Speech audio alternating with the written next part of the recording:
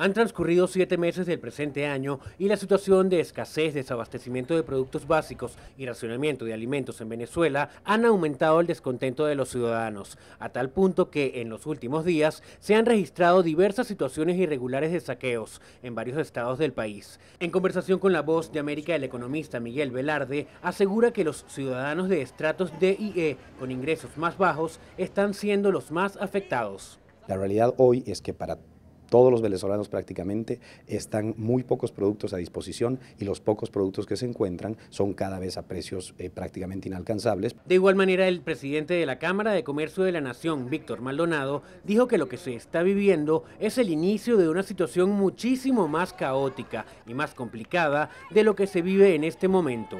Es muy preocupante que en todo el año el gobierno haya perdido todas las oportunidades que se le han presentado para resolver el problema económico que tiene en sus manos. Es producto del uso y del abuso del populismo político que tiene, por supuesto, una traducción en la economía. No obstante, el presidente Nicolás Maduro amenazó con que si esos sectores violentos continúan insistiendo en la llamada guerra económica y guerra paramilitar, promoverá una ofensiva total para garantizar la paz en el país.